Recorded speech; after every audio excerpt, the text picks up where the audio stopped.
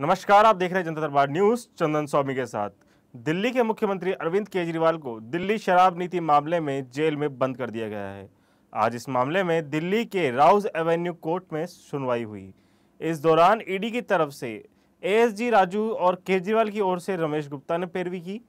ED ने court को बताया कि केजरीवाल गुमराह करने की कोशिश कर रहे हैं।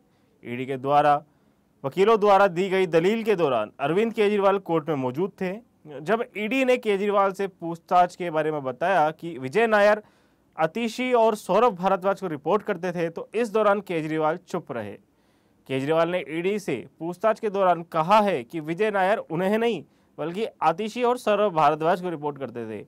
ईडी के मुताबिक, केजरीवाल ने अभी तक अपने डिजिटल उपकरणों का पासवर्ड नहीं बताया है और उनका आचरण बिल्कुल असहयोगात्मक है।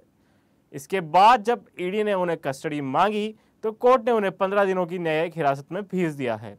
अरविंद केजरीवाल को तिहाड़ जेल में रखा जाएगा और उन्हें 15 अप्रैल तक तिहाड़ जेल में ही रहना होगा।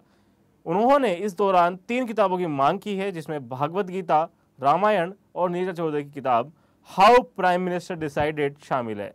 इसके साथ ही उन्होंने जेल में ज़रूरी दवाओं की मांग भी की है। तिहाड़ जेल के सूत्रों के मुताबिक, अभी तक यह तय नहीं किया गया है कि केजरीवाल को तिहाड़ जेल के किस बैक में, बैरक में रखा जाएगा? यहाँ तक कि कुछ दिन पहले आम आदमी पार्टी के नेता संजय सिंह को दो नंबर जेल से पाँच नंबर जेल में शिफ्ट किया गया है।